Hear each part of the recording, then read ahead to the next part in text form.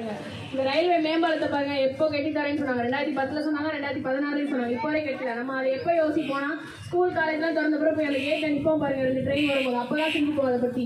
ஆனா அதுக்கப்புறம் அதை மறந்துடும் ஒவ்வொரு தடவையும் நீங்க சிந்திக்க வேண்டிய நேரம் பாத்தீங்கன்னா அது நீங்க ஓட்டு போடும்போது மட்டும்தான். நம்மளுக்கு அடிப்படை தேவையானதை ஏதாவது கொடுத்து கவர்ச்சிகரமான திட்டங்களை காட்டுவாங்க. Grinder mixie washing machine tablet laptop cycle TV ஆனால் நமக்கு அடிப்படை தேவை எதுங்க? குடிக்கிற தண்ணி தான் அடிப்படை தேவை. அதை இலவசமாக இது வரைக்கும் எந்த கட்சியாக கொடுத்துருக்குறாங்களா?